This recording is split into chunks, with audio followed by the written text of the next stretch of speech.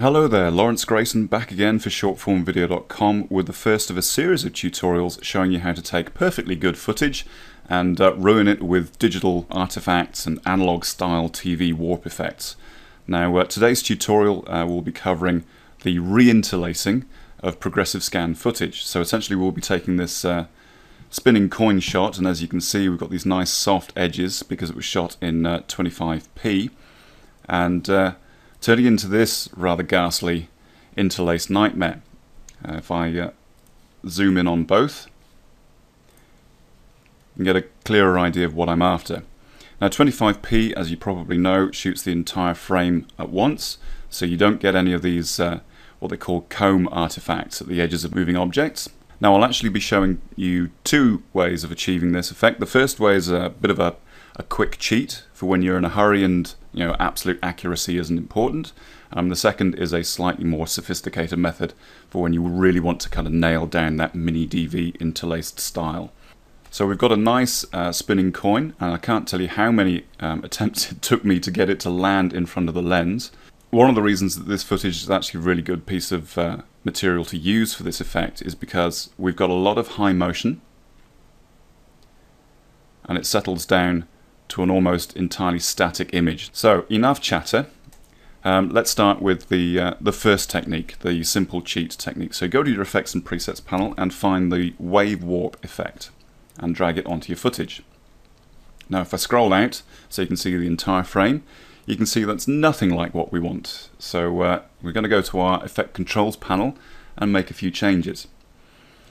Under the wave type effect, change it from sine to noise and that will give you this nice jagged line effect rather than the smooth wave warp we had previously and change the direction to zero and that'll reverse it from a vertical warp to a horizontal warp so you can kind of see where we're going with this.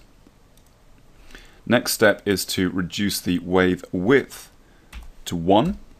Now if I scroll back in you can see that we've already got pretty much the interlace effect we're looking for but if you want to make it more pronounced, you just increase the wave height. So I'll make it really, really jarring. Take it up to uh, a wave height value of 40. And that makes it really obvious. Um, last thing we need to do is uh, turn off the wave speed because we don't want this effect to be animated. So just uh, change the wave speed to zero. And as you can see, we've got something that looks sort of like interlacing but it's not actually that accurate. So as I said, if you're looking for a quick and easy cheat, this is the way to go. But uh, the one thing that really gives it away is when you have a static object like this.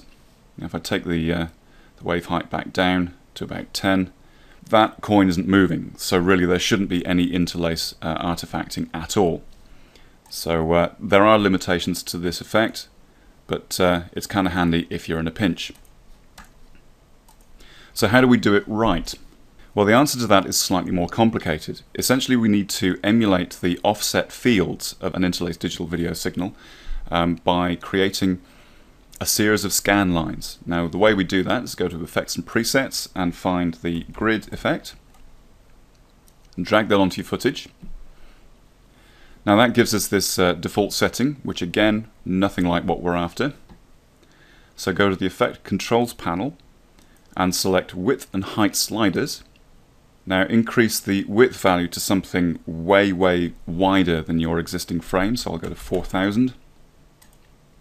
And that just gets rid of most of the uh, vertical bars. And we can get rid of the one in the middle by holding down shift and dragging the X value until that last remaining vertical bar is off screen.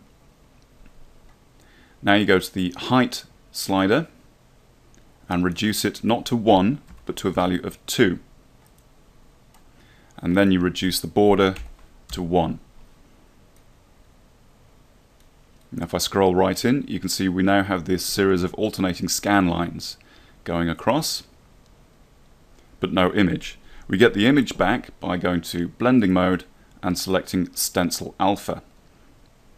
And basically that uses the transparency values of the overlying grid to reveal the uh, image underneath. So that's half the way there. Now what we need to do is duplicate the coin spin or whatever footage you're using by hitting Control and D and duplicating it. And we just need to offset the Y value by adding 1 to the anchor point. So it's uh, 360 at the moment, so we'll take it to 361. Now when I scroll in, you see we've got our entire frame back, which is great, but it's nothing like what we want it to look like. So go to the beginning of your timeline and just drag the top coin spin AVI or your, your top footage and just drag it forward by one frame. If we take a look at what that does and zoom in nice and close, you can see we've got this interlace style footage. Now it's not going to be perfect. I'll warn you in advance. The, uh, the frame offset does actually cancel out if you look at it frame by frame. So it's not quite um, an accurate portrayal of uh, interlace footage, but when it's moving fast enough, no one's ever going to notice. And as you can see now, when I play it back, we've got that horrible interlaced look and feel to it. And uh, the best thing about this effect is it's now motion sensitive. So when you've got a lot of high speed motion, you've got these extreme combing artifacts. And then when the object settles,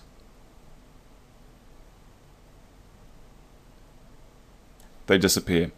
So that's more like the, uh, the interlaced look that we're aiming for.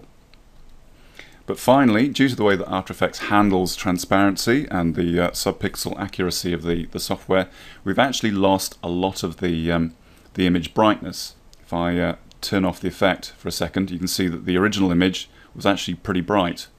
But now we've got this 50% uh, darker version, which is uh, not ideal. And the simple way to fix that is to basically grab an untampered with version of the original footage and drop it right on the bottom. So if I zoom into 200% so you can see it, now we have that interlaced appearance that we were after. Now in future tutorials I'll be showing you how to add noise, add static, add distortion, add color separation, add ghosting, all the kind of horrible things that make uh, perfectly good footage look crap. Um, so keep an eye open for them. In the meantime, I hope you found this useful. Thanks for watching, and I'll see you next time.